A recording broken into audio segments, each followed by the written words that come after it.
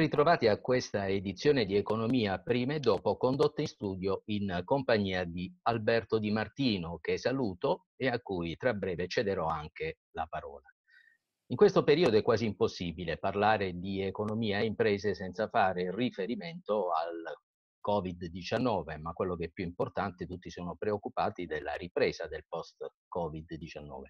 Lo faremo anche noi in questa puntata, ma in un modo un po' diverso, cioè ci occuperemo non solo degli aspetti tecnici, ma affronteremo quelli che hanno una natura psicologica, perché riteniamo che essi siano altrettanto validi e importanti quanto i primi.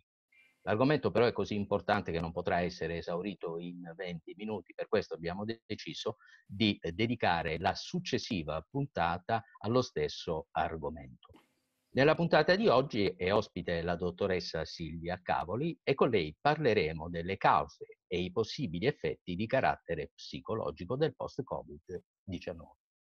Per introdurre questo argomento, cioè l'importanza della psicologia nel mondo dell'economia, in particolare nel mondo del lavoro, voglio riallacciarmi a due note storiche. La prima, molto più vicina a noi, 2006, finalmente l'Organizzazione Mondiale per la Sanità, per la Salute, decide, diciamo così, recepisce, riesce a mettere tutti d'accordo sul fatto che la salute di una persona non è l'assenza di malattia, ma è un equilibrio fatto di aspetti di, di dimensione fisica, mentale, spirituale e sociale.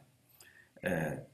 noi potremmo dire eh, grazie, è ovvio, eh, ma nel mondo economico non, non lo è stato e non lo è a tutt'oggi.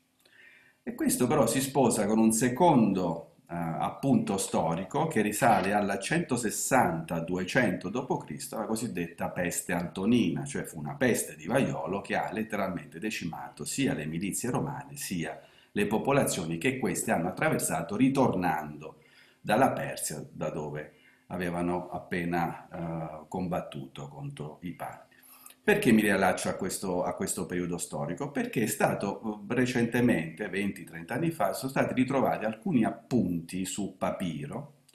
in cui viene citato un, un manuale, cosiddetto manuale della dea Sekhmet, che era la dea delle guarigioni e la dea delle epidemie, ed è considerata una delle dee più potenti che c'erano, tant'è che era la dea dei faraoni anche, la patrona dei faraoni, e questo manuale era un manuale riservato ai sacerdoti. In questo manuale viene ribadito come sia importante, o meglio vengono suggerite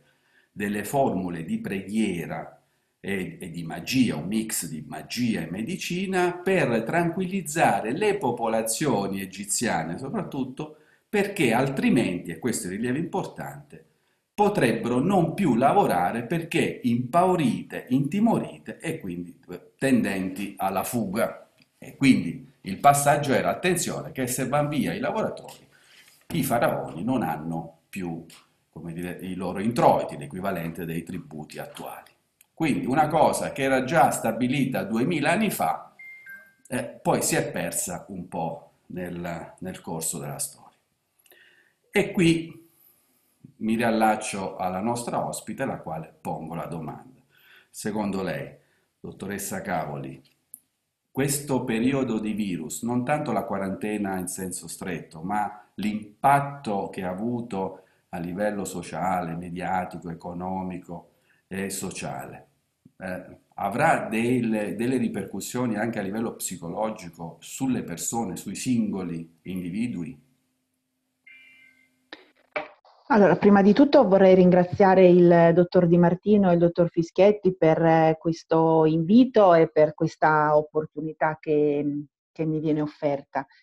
Sicuramente sì, eh, l'impatto di questa emergenza coronavirus, di quello che stiamo attraversando e che continueremo ad attraversare perché eh, chiaramente sappiamo bene che non, eh, non usciremo dalla, eh, dalla fase 1, eh, come dire, eh, e sarà tutto finito, anzi tutt'altro. Eh, però mh, mhmm, noi dobbiamo pensare che eh, l'emergenza coronavirus ehm, di fatto ha proiettato tutti con una estrema rapidità in una condizione che ha eh, determinato una perdita repentina e in alcuni casi drammatica di tutte quelle che erano le nostre abitudini consolidate, di tutto quello che eh, riempiva in maniera anche rassicurante eh, la nostra vita e di tanti eh, punti di riferimento eh, che per noi erano, se vogliamo, anche scontati. Eh, a partire dal primo caso diagnosticato eh, il 21 febbraio, se non sbaglio, in un rapido susseguirsi di, di decreti e ordinanze, eh, le persone hanno dovuto eh, praticamente da un giorno all'altro, eh, nell'arco di pochissimo tempo, cambiare il proprio modo di, di, lavorare. Hanno dovuto rinunciare ai momenti di socialità. Chi per esempio ha genitori eh, o familiari che non abitano nella stessa casa o comunque non in prossimità, ha dovuto rinunciare a vederli. Eh, per esempio pensiamo che ehm, gli ausili tecnologici che possono essere eh, un, un, sollievo mh, mhmm, nel, no, nel, nell'isolamento, nella distanza sociale, non sono sempre così facilmente utilizzabili e eh,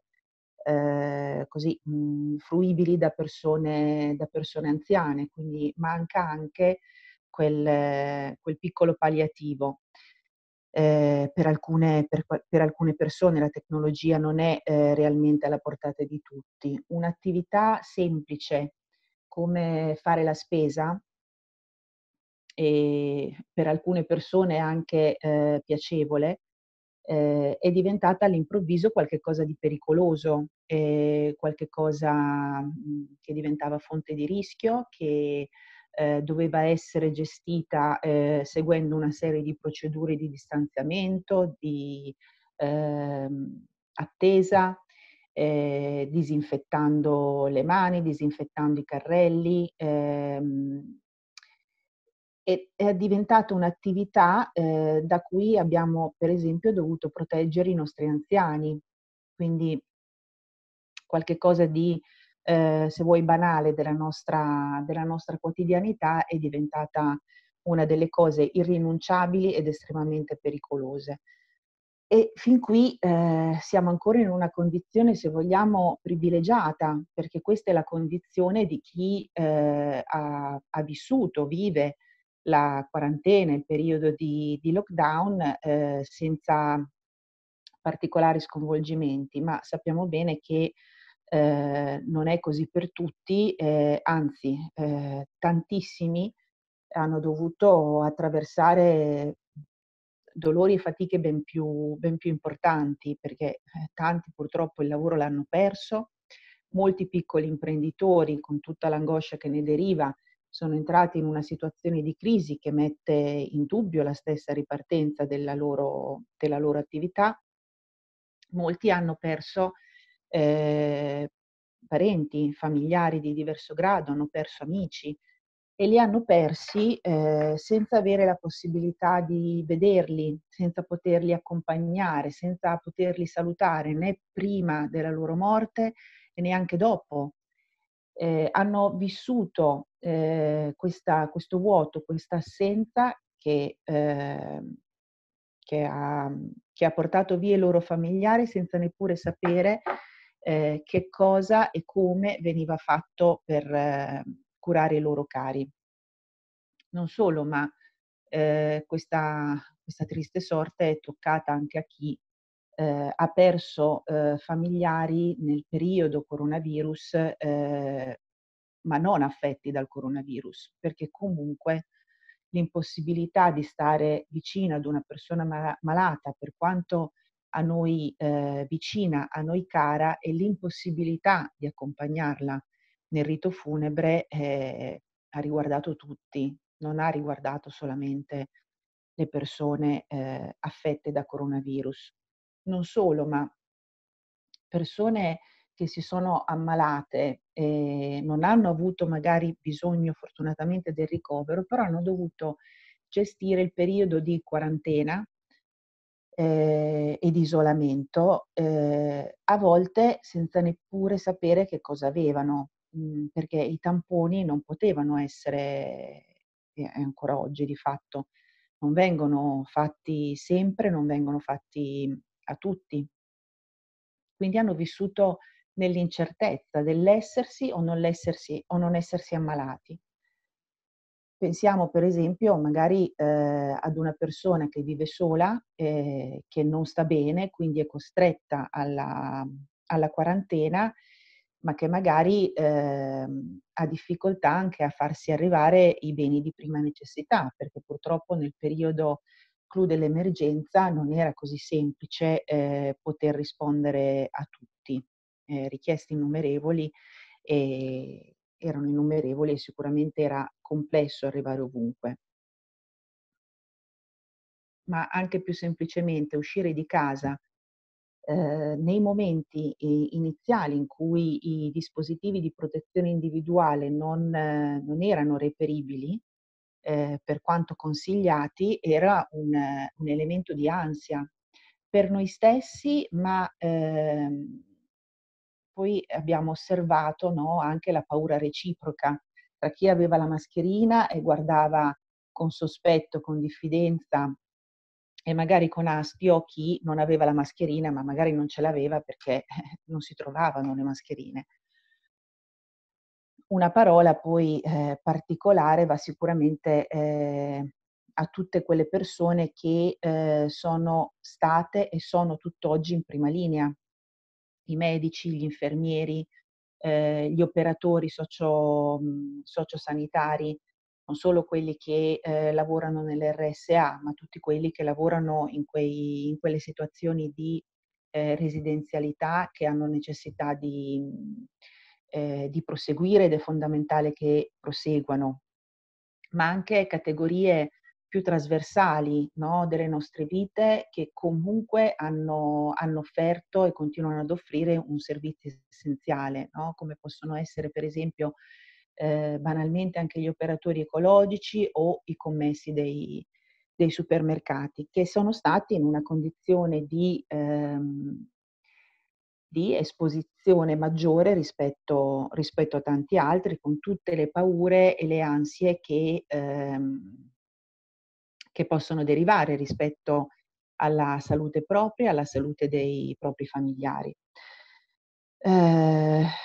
allora, una serie di stravolgimenti eh, veramente traumatici, eh, devastanti per, eh, per, l'equilibrio della nostra quotidianità e della nostra emotività, mh, così rapidi da essere difficili da eh, elaborare, quindi che lasciano, come dire, aperto un lavoro di elaborazione che dovrà essere fatto e che inevitabilmente hanno un impatto emotivo estremamente forte, che noi ci porteremo un po' dietro nel, nel corso del tempo e eh, che avremo bisogno di recuperare e rielaborare. Ecco, uh, dottoressa, nella quotidianità, nella vita di ognuno di noi, ci sono sentimenti che sono una normale reazione ad alcuni avvenimenti. Mi riferisco per esempio al fenomeno della, dell'inib- dell'inibizione, no? che è una reazione quando si ha un lutto o una ferita sentimentale. Eh, ovviamente è un periodo di transizione che se si dovesse prolungare però cre- crea dei problemi eh, siccome non siamo in una condizione di normalità e quindi siamo in una circostanza particolare, quali possono essere quindi le reazioni che potrebbero scatenarsi a uh, questi fenomeni? Allora, diciamo mh, mhmm, intanto che eh, lo stress in, in, una fase iniziale eh, determina uno stato mh, di attivazione, come anche giustamente lei ha accennato, che ehm, è utile e permette di affrontare nella maniera più eh, adeguata una situazione difficile, contingente, reale, oggettiva. Eh, nel momento in cui però eh, questa condizione di stress si prolunga in maniera eccessiva e eh, arriva a sollecitare in maniera ehm, eccessiva e prolungata eh, si possono appunto verificare delle condizioni eh, di stress che possono essere eh, anche le più varie. Ehm, le reazioni individuali allo stress eh, si diversificano anche in base alle caratteristiche di ciascun individuo e alle proprie risorse personali, sia in termini proprio di eh, punti di forza che ehm, elementi di fragilità che ciascuno di noi possiede. Quindi eh, possono appunto eh, comparire ehm, reazioni che possono andare da sintomi di carattere psicosomatico, ehm, manifestazioni di ansia, depressione, eh, abuso di eh, psicofarmaci, eh, abuso di nicotina, per esempio un fumatore potrebbe ritrovarsi a fumare più sigarette, abuso di alcol o in generale eh,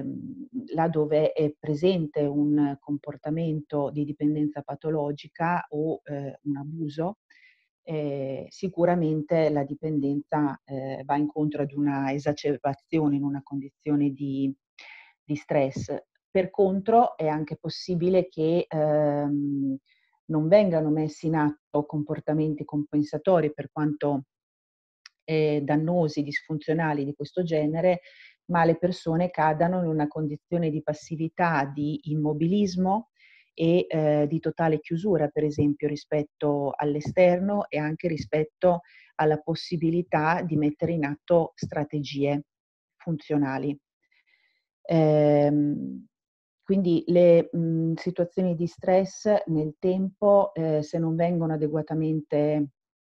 gestite, affrontate e rielaborate, possono effettivamente dare, ehm, dare luogo a dei disturbi molto importanti, fino ad arrivare a un, eh, anche a un, un disturbo post-traumatico da stress.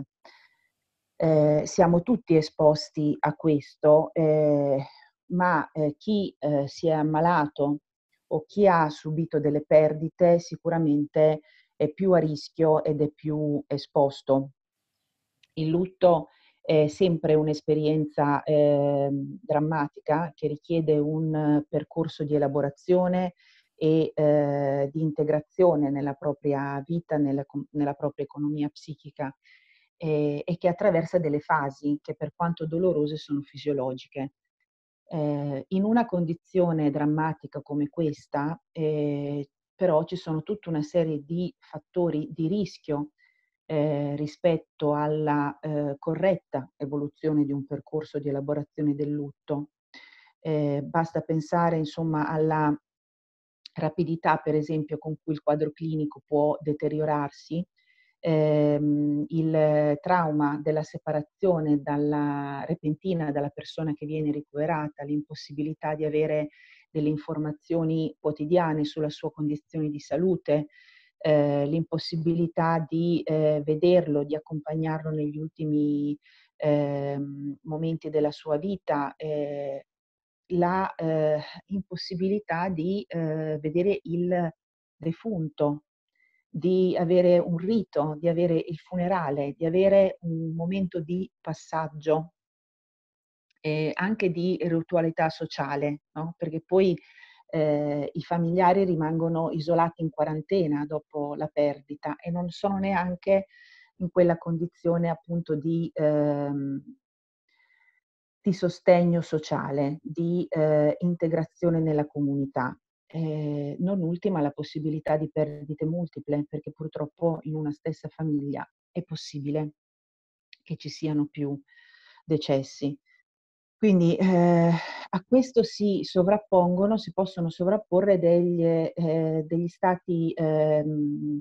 emotivi importanti di rabbia, eh, di senso di colpa per essere magari essere, eh, essere stati il veicolo del contagio, eh, un senso di eh, impotenza no? rispetto, rispetto, alla possibilità di comprendere quanto accade. Il fatto di mh, mhmm, essere parte di una tragedia collettiva può essere eh, un elemento di eh, sollievo, ma è un sollievo ben blando rispetto a quanto eh, poi il lutto eh, arriva in una maniera profonda nella, nell'emotività di, di ciascuno di noi. eh, nel, in condizioni di stress reiterato e eh, prolungato o nella difficoltà eh, di eh, un percorso di elaborazione del lutto, eh, facilmente possono comparire sintomi come incubi, ehm, disturbi del sonno, eh, ansia, ehm, depressione, una forte irritabilità. Eh, ecco, questi sono eh, i segnali più comuni che poi possono, ecco, mh, mhmm, dopo un periodo iniziale, se non adeguatamente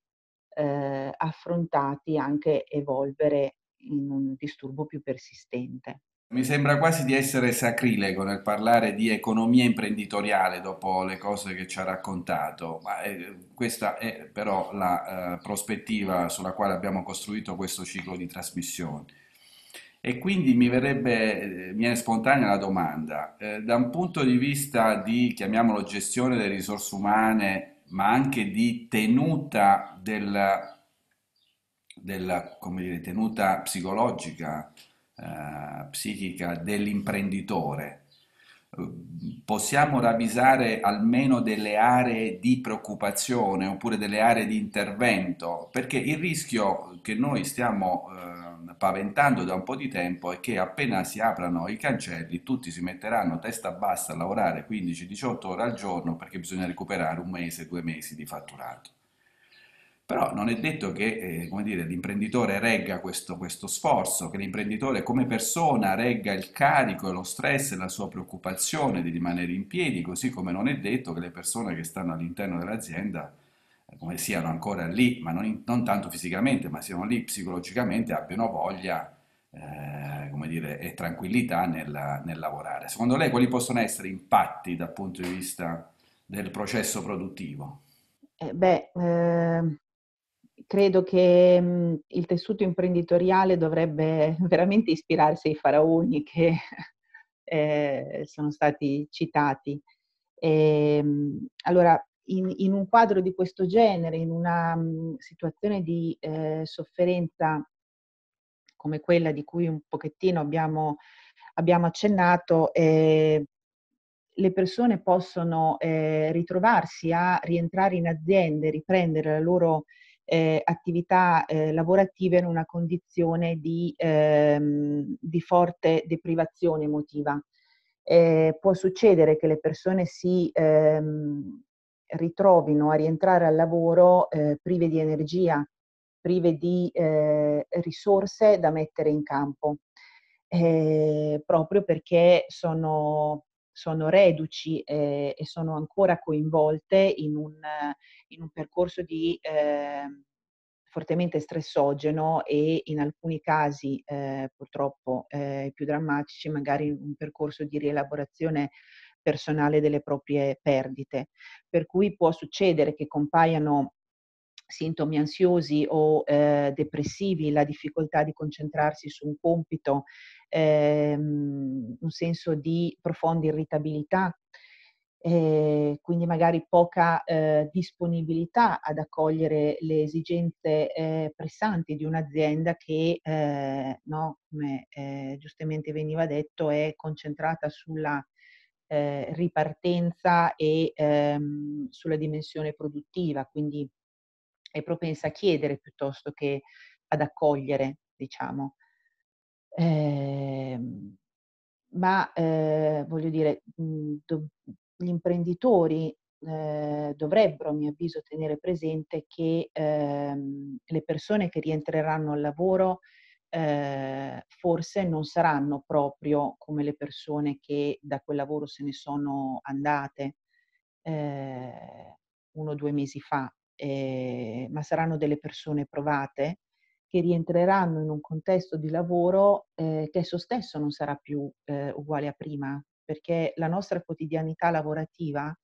sarà diversa, sarà cambiata anche solo per eh, le necessità di, ehm, imposte dalle misure di sicurezza che dovranno essere adottate. Un elemento importante del contesto di lavoro è eh, il clima eh, l'atmosfera che si, mhmm, che si crea all'interno dei contesti lavorativi. Penso alla banalità della pausa pranzo, per esempio, nel momento in cui eh, questa viene, viene, vissuta all'interno del, dell'azienda o comunque fuori, fuori, di casa. Diciamo che eh, forse una delle sfide ehm, eh, delle, delle, aziende e dei lavoratori dovrà essere quella di, ehm, di costruire delle, eh, degli strumenti eh, di, di, prossimità diversi eh, rispetto a quelli a cui siamo abituati. Mm, questo noi lo dovremo fare in realtà in ogni, in ogni area della nostra vita, non è una questione che riguarda solamente le aziende, però eh, concentrandosi sull'aspetto mm, ecco, produttivo e sulla qualità del contesto di lavoro per eh, l'influenza anche che questo ha sulla, sull'aspetto produttivo, eh, forse sarà necessario eh, per gli imprenditori ragionare anche su una dimensione di, ehm, di accoglienza della sofferenza che le persone porteranno con loro. Eh, non sarà strano eh, un senso di eh, irritabilità, di insofferenza o l'insorgere di conflitti tra colleghi o rispetto ai superiori, no? il senso di non essere riconosciuto, il senso di non essere compreso, perché comunque molte delle persone che rientreranno al lavoro porteranno con sé un, un dramma personale che deve avere un posto ovunque nella loro vita.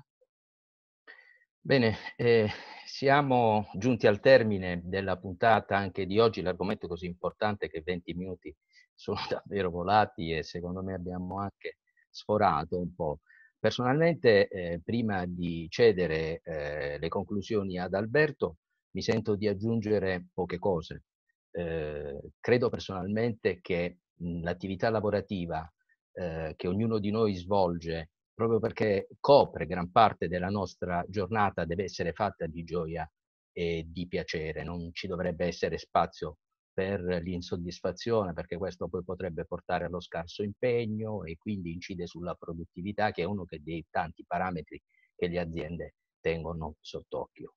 Eh, ci sono però degli aspetti che sembrano ininfluenti ma sono determinanti, quindi posso aggiungere soltanto ciò che dissi un giorno a un imprenditore che era lì attento nel, mentre faceva la sua ennesima assunzione a far infilare all'interno del contratto quanti più vincoli perché era convinto che solo in tal modo lui ogni volta che assumeva assumeva una persona che sarebbe stata una persona ligia all'azienda.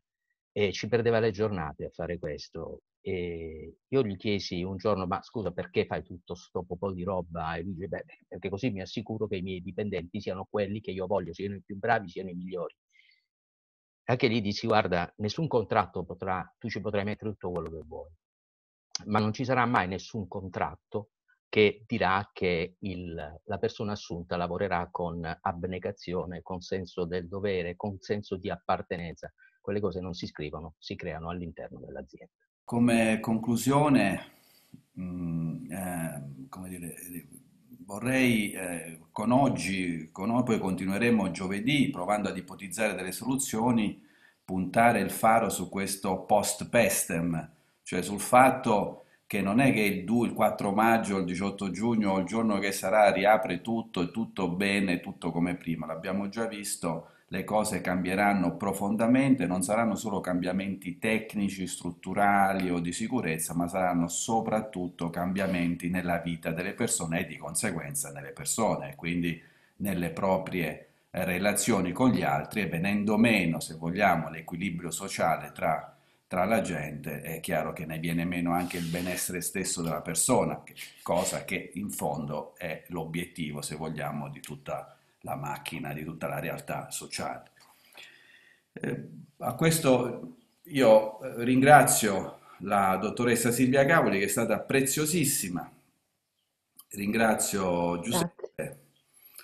sempre presente e rimando a tutti per eh, dopodomani sulla puntata dedicata alla comunicazione all'interno dell'impresa. Grazie.